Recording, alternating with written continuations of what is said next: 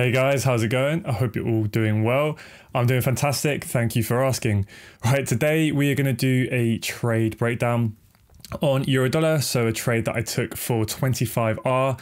Um, and I think this is just a really good trade to share with you guys. I think you guys will hopefully take a lot of value from, from this breakdown um, because this is just a really good example of where you can, you know, take trades intraday. You don't have to hold them for days or even weeks um, to make really good returns. Also, this trade is heavily, heavily counter trend to the higher time frame uh, trend. Um, but you know, we weren't just trying to catch a falling knife. Uh, we waited for a lot of confirmation. Um, you know, waited patiently, and then you know, striked when the moment was when the moment was right to to capitalize on a very high probability trade, um, and then knowing where to exit that trade with confidence.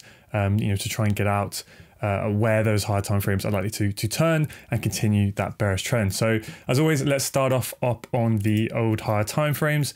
Um, we'll do a little bit of bar replay as well uh, to bring this back. So let's bring it back to around this point and then let's quickly hop up to the weekly chart. And as always, what I'm going to do is just really slowly go through, you know, how we build the higher time frame story, how we actually arrive at those those POIs, those points of interest, in which we then, you know, want to execute um, our trades from, right? And it's all about really just understanding the higher time frame narrative so that you can then use those lower time frames just to help you with timing, getting that extra confirmation, uh, and getting that extra refinement. But I'm not just hopping in any old M1 M1 zone, right? Any M1 entry. That's the last last thing I'm looking at. It all starts with the higher time frames, okay? So I'm not going to rant on any longer about that. But as we can see, if we look back um, over here, make the line a bit darker so we can see it. The weekly chart switched bullish, right? Because we had the weekly take the low here, right? So it took the low. This was the high at that point. I'll zoom right in so you guys can see it. And then the weekly chart took this high to form a higher high. Uh, and then again, it pulled back, right? It made another higher high here. Price pulled back tried to form a higher low, right? It tried to take out the high, but it failed to do so. It failed to close below the low.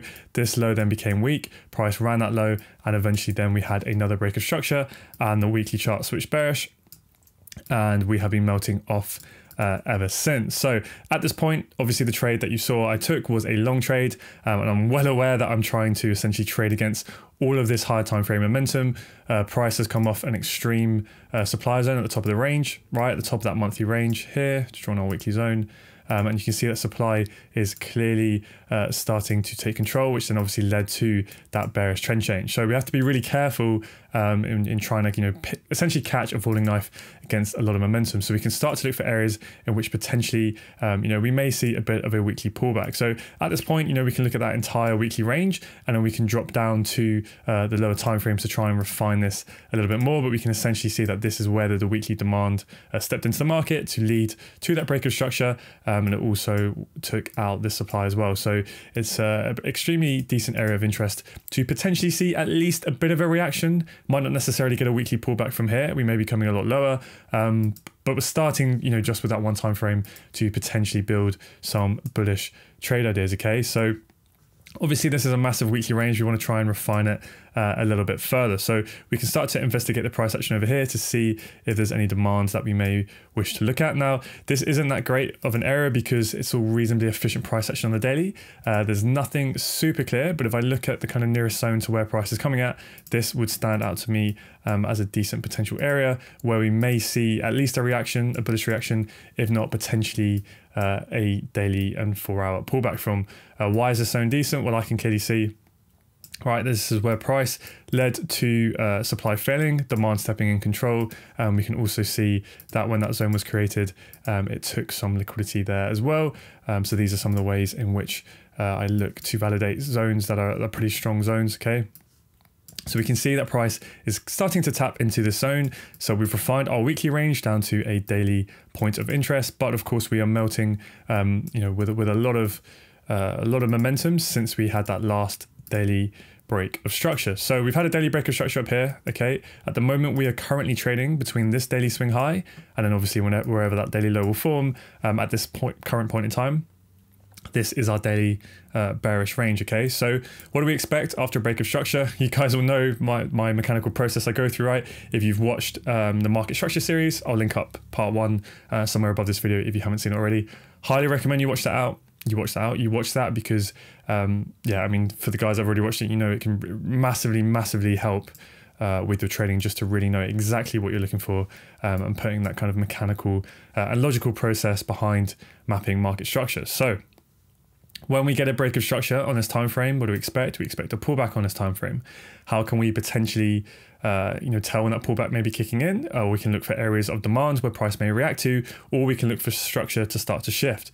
So we can look for that daily change of character, or of course we can drop down to the lower time frames, right, um, and look for the for the four hour to start to switch bullish um, as well. So coming in towards this daily zone, now, again, at this point, um, we are still heavily bearish. So let's map out the range, right? I always want to know where is my swing high and my swing low for the the um, uh, time frame I'm on. Okay, so if we look at the four-hour structure, this is where you need to make sure you go back and you paint the story a little bit just to make sure you've got it right. So you know, if we go all the way back to here, we can see that was the last solid pullback. Then we took that low there. Then again, we had another break of structure. So where's our swing high? It's this point here. That's the highest point, right? That took out the low, so that's our swing high. Price then came up, it pulled back, it took out this high here. So then this is our swing low, price pulled all the way back, but it didn't take it out, and then it made another higher high, okay? So then that's our swing high. So where's the lowest point? That took out this high after it was formed, where we look back here, okay? So this was the lowest point, price then breaks that low, so that's when the four hour then switched bearish. So then it was playing within this swing high here and this swing low. Okay, price then eventually took out that low, and then that's when it tried to form that daily lower low. So where was the highest point? That took out this low. After this low was formed, it's this point here. Okay, so that's our swing high. Price never breaches it, right? It stays within that range. We then get another break of structure. Now, since we've got that break of structure here on the four hour chart, if I zoom in, for me, this is all part of the swing leg to the downside.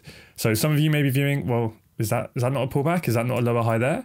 Well, it can be. It's up to you. But for me personally, I try to follow a reasonably strict guideline. Um, it's not 100% strict, but I, I, tend to follow it.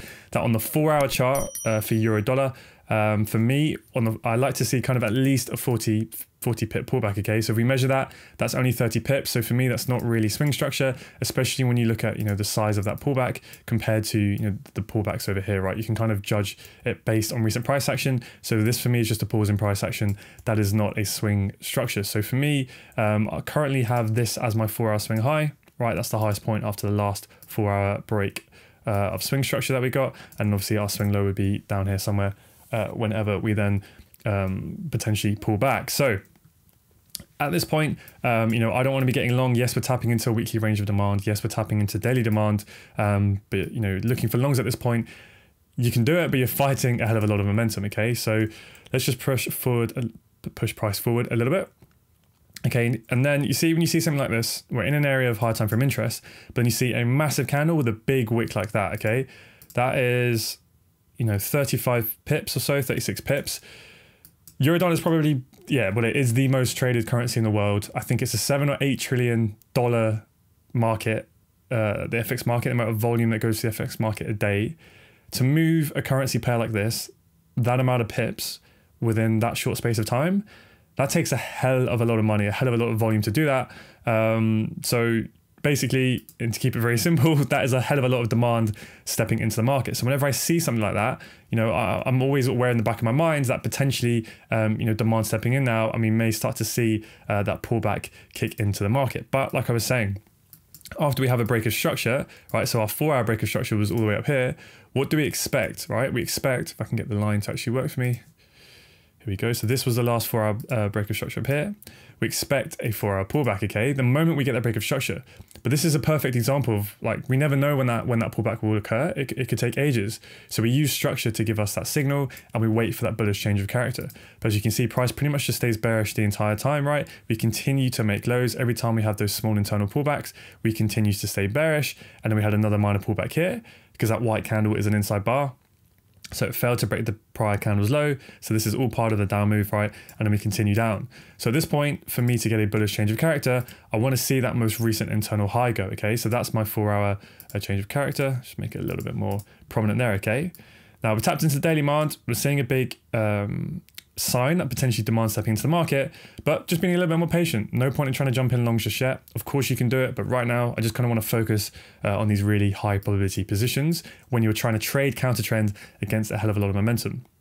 So wait for that four hour change of character. Now, another thing you can do actually, which I'll uh, often do as well, is when you see a big reaction like that, scroll all the way back and go and investigate what did price react to today. Uh, react to because it's probably an old area of demand. And then what do we have over here? You can see we have this sweep. Okay. If I mark out this four hour zone here,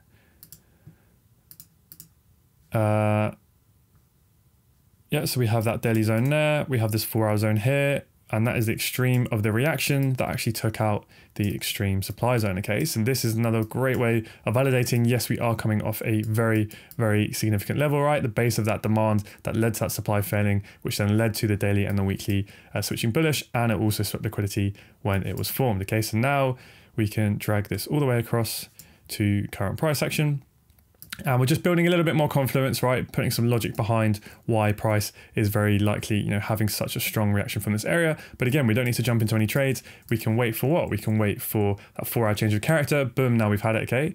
So four hour change of character, all I need to see is a wick break above that high. Um, and that's enough to, to show me, um, you know, that that first sign that structure is starting to fail and we're starting to move to the upside and supply is failing as well. So now what we can do um, is jump down to the 15 minute, okay? Because that four hour change of character, is signaling the four hour may pull back. And you guys who have watched the market structure series will know that not always, but a lot of the time, a change of character on one time frame is a break of swing structure on a lower time frame.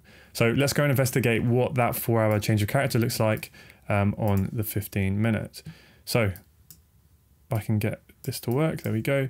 So as we can see, this four hour change of character here is actually a 15 minute break of structure to uh, the upside. So that means that the 15 minute has now switched bullish. Okay, so we've come off this uh, four hour demand level nested within our daily demand level. If we look at the 15 minute swing structure, right, this was our last true swing pullback. We moved down. This is all part of the down move. Then we had a swing pullback, okay, and then we took this low. So that would be our highest point that took out the low, right? After this low was formed and we pull back, where's the highest point that led to that break of structure? It's that point there, okay? So that is why that is marked out as my M15 swing high. Price has now broken and closed above it. So remember for swing structure, I need to see a break and closure above it. Okay, that's what we've now got. Um, but all we have at this point is the M15 switching bullish, forming a higher high, and the four hour change of character.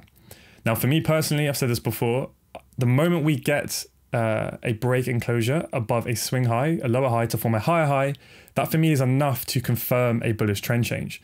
Now, a lot of other people, they want to see both a higher high and a higher low, okay, for there to be that confirmation. Now, we will never know where that higher low is until it forms a higher high, okay? Right? You can't know, you know, you could guess, like let's say this moves forward a little bit, right? At this point here, you could start to anticipate that this may be the higher low, but that is never confirmed until what? That is never confirmed until a higher high is made. So if price was to go up then and form that, right? So then you have a single break of structure and then you have the double break of structure, now you have a lot more confirmation. So again, if I can try and explain that in a bit more simple terms, is that some people need to see both a higher high and a higher low for the market to be confirmed switching to bullish.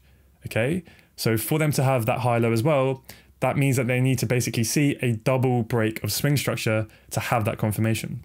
Because at this point, I've seen a higher high. That is enough for me to call it bullish. But obviously, I like a bit more confluence. And if we are to get that double break of structure, right, when we're trying to trade against all of that higher time frame momentum, um, that is going to be a hell of a lot more confidence for, for me. So what I do is I'll mark out this swing high here, and then we can wait to see if price is going to actually make that higher high, confirming that we then have obviously with the benefit of hindsight, this will speed up a little bit. There we go. Okay, so at this point here, we now have double break of structure. So we now have a confirmed M15 high high, and now we've confirmed where the higher low is, okay? So now what we do is we mark out the new range we're playing within. This is my next swing low, and then we can wait for price to start to pull back, so then I know where my swing high is, okay? So we started to pull back. This is my next swing range that we are within on the M15, okay? So I'll just fast forward price to about 6 a.m. when I get to my desk before the London session. So about here, okay? Now, just to kind of quickly recap what we're doing, we're obviously heavily, heavily bearish on the higher time frames, right? We don't want to be catching a falling knife, but we have seen what? We've seen a huge, huge reaction. Um, you know, that, that is massive, right? A massive amount of demand stepping in. We've looked left to validate what is price reacting to, to try and provide a bit more confluence and logic behind that move. We've seen that we are within a weekly demand range. We're in a daily demand zone within that weekly range. And within all of that, we have found a four hour demand zone um, that led to supply failing, that led to a break of structure, and it also took liquidity as well. Okay. And we've seen that very strong V shaped move up there that led to a break of structure. So at that point, for me, the M15 is then confirmed bullish when we have a close above that lower high. Um, but then we pulled back and then we had another break of structure to the upside. So now we have a confirmed higher high, an M15 higher high, right? And a confirmed M15 high low. Um, and that, remember that break of structure on the M15 is a four hour change of character. Okay. So we had the four hour CHoCH, the M15 double break of structure. So there's a hell of a lot more confidence now. Essentially, I'm trying to paint the story right that the four hour may be pulling back and the daily may be pulling back. So we're just adding more confidence to looking for longs, right? So as I get to my desk, I've now marked out the swing range I'm within, right? I'm within this swing low here and this swing low on the M15. I know I want to try and uh, play long with the bullish M15 trend to capitalize on a potential four hour and daily pullback, okay? So I mark out POIs that I'm interested in. Obviously, I can see I've already got this one marked out. Why am I interested in this POI here? Well, a few confluences that we can go through. If I mark out from the swing low to the swing high, right, premium discount tool, watch my previous video. I'll link that up here if you haven't seen it, right? This can quickly really help you just to validate, you know, I want to be buying in those cheaper prices. I want to be buying in the discount of the range. And we can see anywhere below this red line, below the equilibrium, below the 50% level is discount pricing. And that's a really decent area straight away, right? And then it quickly tells you you don't really want to be buying up here in the premium, okay? Another thing we have, if I just extend this across, is we have these equal lows building right in front of my demand zone, okay? So we have that inducement, that liquidity ready to be swept, right? If there's a lot of buying interest, which that we think there is here, um, you know, there's a lot of big, uh, you know, let's say institutional level of buying that entered in here previously. Why was there, or how can we validate that there was a lot of buying interest? Well, we can start to look for where supply um, was failing, right? We get this reaction here. This is the extreme of the reaction that caused supply to fail that led to the break of structure. What also happened? Well, this POI swept liquidity when it was formed. Okay, all of these things really help us to validate our POIs. We have inducement in front of it. Um, so at this point, all I'm waiting for then is I set my alert for price to come into my POI.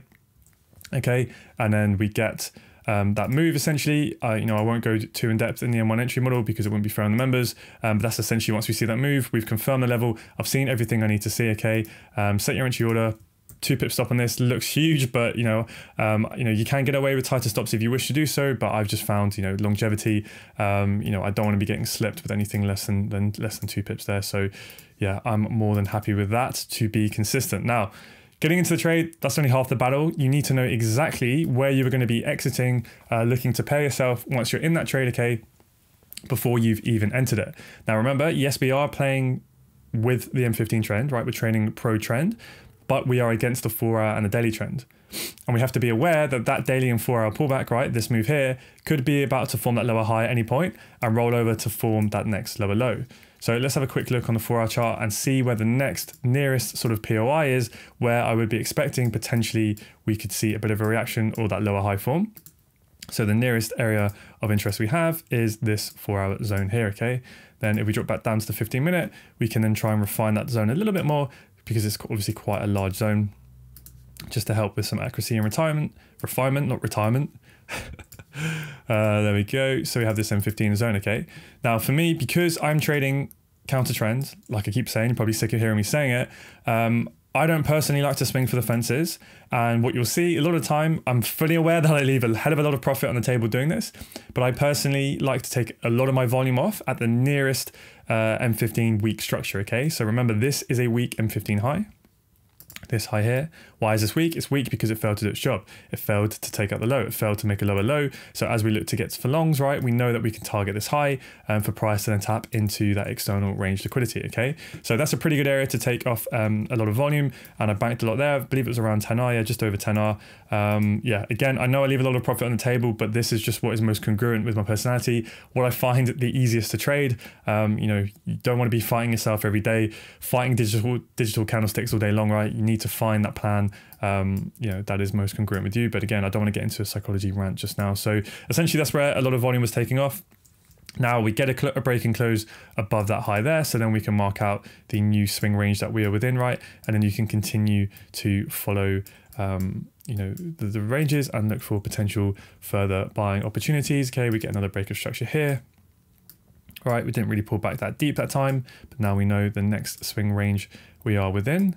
Okay, just continually adjust the range you're within, um, and this can really help you just to, um, yeah, produce intraday trade ideas, right? So then we have, what do we have? The extreme demand down here that led to the break of structure, uh, supply failing, uh, and it took liquidity when it was formed. So that would be a decent area to look at, but you have to be aware at this point we're getting very, very close to uh, that four hour supply level now. Um, so let's play this forward a bit. And essentially, I just towards coming to the end of the day set a pretty, you know, arbitrary um, profit target to get me out for the 25R there around that M15 supply level um, because we were also coming to the end of the day. So as you can see here, I entered around 7 a.m. Frankfurt Open. Um, and as, as we get to around London closing around 4 p.m. GMT, uh, I typically don't like to be um, really in any trades at that point, especially if I'm counter trend. I'm happy to just bank my volume uh, and move on. And that's where I was tagged uh, out of the position uh, for all the remaining um, volume for 25R, okay? And obviously at this point, you can start to potentially anticipate that that four hour low or high is going to form. So we start to see a bit of a reaction from that M15 supply level nested within the four hour supply level. And then this is where you can pay attention, right? If we've come up, if I look at the four hour chart, right? If we've now pulled back and we've come into an area of supply and we're expecting potentially a lower high may form, what can we use to indicate that potentially the four hour pullback has finished? And the next four hour swing run is about to commence. We wait for a change of character, right? And of course, we can do the same thing on the lower time frames. Obviously, the higher the time frame you go, the more confirmation you have. But here you can look right, for a change of character in the M15 because we've come into a refined supply level and you can see that price just spiked the high there, which means that we now have a new internal low, right? Where was the low that took the high? This is that low there, okay? So now this low goes, which we have, we now have an M15 change of character. And then this is where you could potentially look to take a short entry. So then if we jump down to the M1, what do we have here? Okay, we can see that high was swept there. We've then had a M15 change of character here. And then if we mark out that M1 entry up here, all right, decent area for just line up to look for potential short stream zone, very high probability at this point in terms of all of the higher time frames um, aligning. And then boom, play this forward. Now, this would never be a trade that I would take live, but it's just understanding, um, you know, what is going on here. Why is the main reason? Well, because you look at the session timing, it's around 10 p.m. GMT. That is the daily close. That is when spreads blow out and widen. Um, but I kind of just wanted to show you guys that, uh, yeah, it's possible you could have caught that four-hour lower high uh, with extreme precision uh, and accuracy. But obviously, you know, this is another thing again for another topic. But when you're back testing, if you take trades like that, you know, don't chuck that in your back test and say, oh, I made, you know, 89R down to the lows because in reality you can't take that trade. But yeah, anyway, that's beyond this video, so we can talk about that um, another time. But so let's do a super quick recap of what we just did here.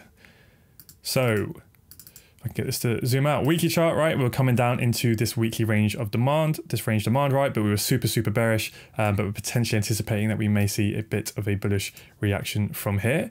The daily chart was heavily bearish as well.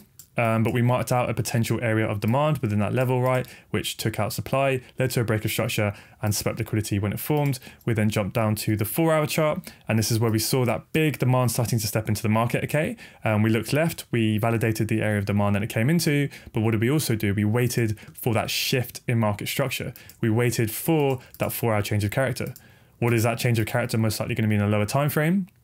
Not always, but it's most likely a break of structure. And that's exactly what this 4 hour change of character was over here. It was the M15 switching bullish. We then waited for another double break of structure because then that gives us both a higher high and a higher low, right? Really giving us confirmation now that the M15 has switched bullish to facilitate that daily and four hour pullback. Okay, so then we mark out the new swing range that we are within coming into the London session. We're nowhere between this high and between this low. We identify high probability POIs by using our premium and discount, by looking at where the demand took out supply, where the demand lead to the break of structure, you know, where was liquidity swept, where will liquidity be induced, we set our alerts on the POI, we drop down to our execution time frame to get that extra confirmation, to boost our strike rate, to boost our risk to reward, and then we pay ourselves along the way because we are trading counter trend. Right, we don't need to be heroes. Um, take your profits off at decent levels that make sense, okay? Where is price likely going to pull back? It's going to pull back after it sweeps the external range liquidity behind those weak structures, okay? So on and so forth. You can, of course, continue to look for scale-ins